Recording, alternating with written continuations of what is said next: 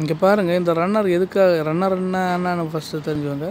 ரன்னர்னால் வேறு எதுவும் இல்லை இதை இருக்குல்ல இந்த ஒரு பலகை எங்கே வச்சுருக்கு பாருங்கள் அது அதுக்கு அதை தான் ரன்னர்னு சொல்கிறேன் அது எதுக்காக வச்சுருக்கேன்னா அதில் அதையும் நான் இப்போ உங்களுக்கு காட்டுவேன் நீங்கள் பாருங்கள் ஃபுல்லாக ஃபுல்லாக இந்த வீடியோ பாருங்கள் என்னென்னா இந்த பீம் இருக்குல்ல பீமில் இந்த பீம் டு இந்த பீம் வரைக்கும் இந்த யூனிஸ்பேன் இருக்கும்.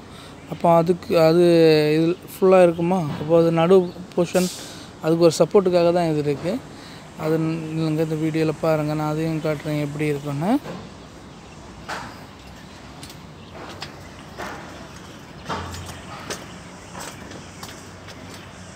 இங்கே பாருங்கள் இதுதான் நம்மளோட பீம். Beam to beam. இங்கே பாருங்கள் உங்களுக்கு தெரியும் யூனிஸ்பேன்.